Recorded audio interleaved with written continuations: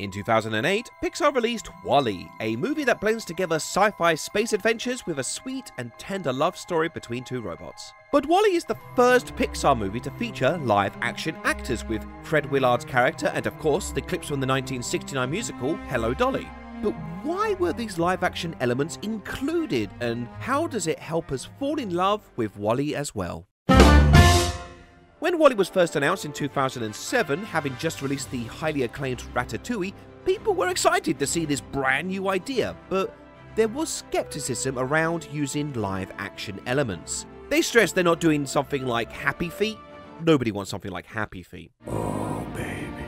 But I remember being worried that this was an early sign of Pixar starting to transition into making exclusively live action movies. But no, they remain animation first and we're busy working on sexy cars. Wow. Hey, it's not my fault they give the cars big kissy lips. Stop judging me! People from the real world have appeared throughout Pixar's history. Soul has famous mentors, Cars features many celebrity car sonars like the Queen, Finding Dory has Sigourney Weaver voice herself, I'm Sigourney Weaver. Coco includes Frida Kahlo, Toy Story 3 mentions Lincoln Logs, meaning Abraham Lincoln exists, I don't think those were Lincoln Logs. Toy Story 1 has a Mickey Mouse clock, meaning Walt Disney exists. And wait, if Disney exists, does Pixar exist as well? Does the Toy Story movies exist within Toy Story?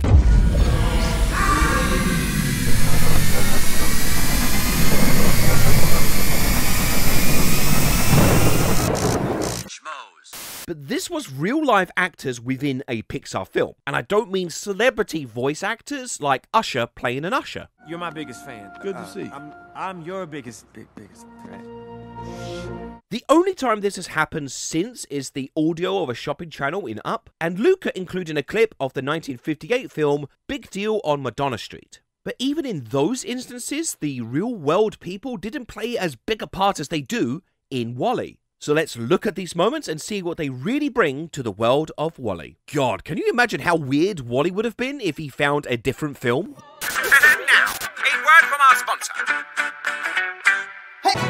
Breaking news the city is being invaded by a 300 foot tall virtual private network many people are calling the Surfshark VPN. We know nothing. Breaking news, we now know everything. Surfshark VPN will protect you from malware and hackers, even on public Wi Fi. But who will protect us?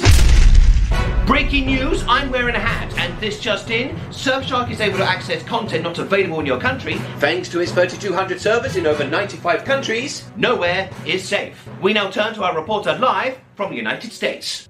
Howdy. Breaking news, by clicking the link in the description, you'll get 83% off your Surfshark subscription plus three months extra for free. This will please the Surfshark VPN, who promises they will stop crushing news anchors. Now back to your regularly scheduled programming. Now I'll sing you a song. The history of Hello Dolly is really bizarre. In 1835, there was a short farcical play called A Day Well Spent, which got extended into an 1842 German musical, He'll Have Himself a Good Time. This got a British adaptation in 1981 called On the Razzle, and an American adaptation as the 1938 comedy The Merchant of Yonkers. But that flopped, so this was rewritten again, this time to alter the minor character of Dolly into the show's centerpiece in 1954's The Matchmaker. And this formed the basis for a musical adaptation in 1964 called Hello Dolly. Whew. So the film is based on a musical, based on a play, based on a play, based on a musical, based on a play. Wow. And like previous adaptations, this was also a flop. And a big expensive one at that. But given how much it took to get to this point, it's honestly a miracle this production even exists. Which goes to show, if at first you don't succeed, just wait a hundred years and somebody else will fix it. Oh hey, that's the plot of WALL-E. While developing WALL-E, director Andrew Stanton wanted to juxtapose the apocalyptic futuristic setting with some jolly old-fashioned music. French swing music was considered, but scrapped after it featured prominently in 2003's The Triplets of Belleville. That's when a song on his iPod played, Put on your Sunday clothes from Hello Dolly. Stanton had actually starred in a high school production of Hello Dolly, so he was very familiar with the show. So once the rights were secured, it was decided to work it in. WALL-E was already pretty developed by this point, so the movie took a little engineering to now feature two songs from Hello Dolly. Put on your Sunday clothes, and it only takes a moment. A third song, Dancing, was considered for even WALL-E's space ballet, but the composed soundtrack worked much better. So scenes had to be reworked, demonstrating the effect this movie within a movie had on WALL-E, such as playing music while he works or using the lid of a trash can as a hat, which introduces another element. We're not just hearing the music, we're also seeing it. And it's at its most effective when WALL-E watches It Only Takes a Moment. When it comes to storytelling, Pixar are among the world's best, but for the story to work, we have to empathize with and care about the characters. And for this to work, the character has to have a clear goal. Woody wants to be the favorite toy, Marlin wants his son back, Carl wants to keep his promise. The more this goal is rooted in emotion, like insecurities, paternal instincts, or sorrow, the more proactive they will be to take action, and the more invested we are as we follow their journey. But what about WALL-E? They have no clear face to emote with, and they have very little spoken dialogue. How do we make their goal clear? And how do we make it emotional?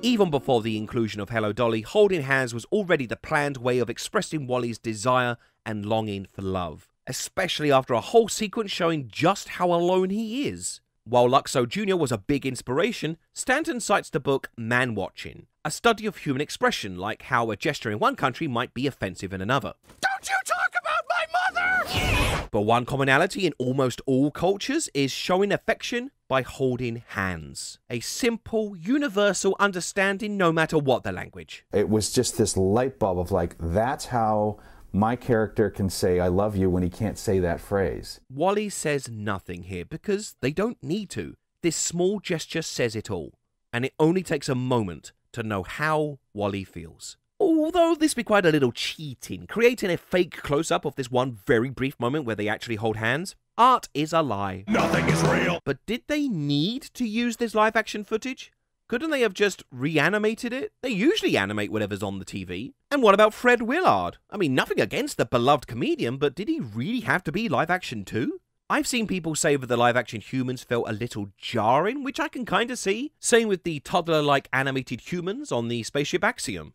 Like seeing the generations of ship captains get less real life human and more cartoony the longer they stay, getting more and more complacent to the luxuries of technology and losing something of themselves in the process their humanity. There's another moment that utilizes live action elements when the captain is learning more and more about Earth. Mirroring WALL-E's own reaction to Hello Dolly, it also starts to unlock a forgotten sense of wonder and yearning. I don't want to survive. I want to live. And that's what the live action elements bring to this film humanity. Can't get more humanity than actual people, I guess.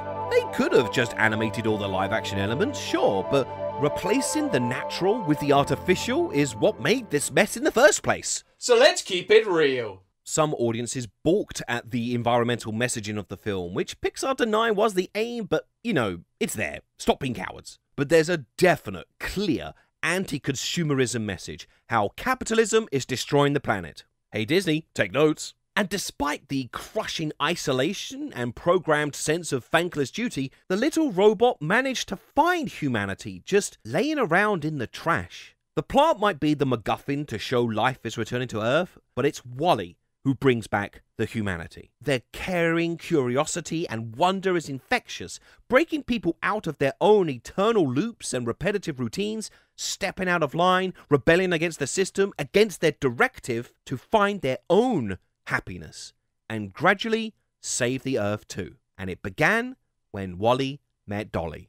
Weirdly, this recording of It Only Takes a Moment almost didn't happen. In the Broadway musical, it's from a courtroom scene that got cut from the film. But rather than lose the song too, it was decided to relocate it to another scene. And it still faced complications. When Michael Crawford was cast for Hello Dolly, he had to fight to keep his role. The producers had tried to redub his singing, particularly in It Only Takes a Moment, but Director Gene Kelly fought for him, and his voice remains in the song. A victory for the natural over the artificial. Except that Marianne McAndrew admitted she couldn't sing, and she did get redubbed. Nothing is real. But upon seeing WALL-E, Michael Crawford took Andrew Stanton out to dinner and told him of a story he never knew about Put On Your Sunday Clothes, the song that starts the movie. whilst recording the song, he was struggling to land that punch of the opening out there. Out there. Gene Kelly told Crawford, Kid, you gotta sing like it means more than the world. This is bigger than the universe. Just think of the stars.